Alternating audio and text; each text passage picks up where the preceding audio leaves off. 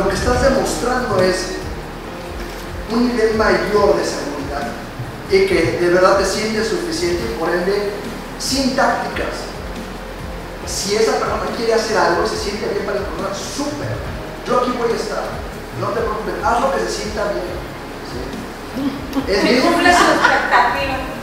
Ah, es bien difícil, pero haz lo que se sienta bien. Porque final todo es un entrenamiento para mí. Me lo estoy dando a mí mismo ese regalo.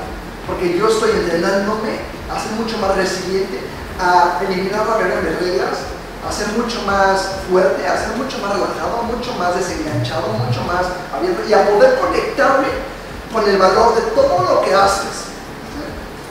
Hasta que llegue el punto, y va a ser bien pinches difícil, pero hasta que llegue el punto en donde lo que antes me molestaba, ahora siento que tiene mucho valor y ahora siento que está súper. Y me da gusto cuando haces lo que se siente bien para ti, incluso si hace una semana o hace un día o hace un mes, era algo en lo que yo eh, no estaba de acuerdo.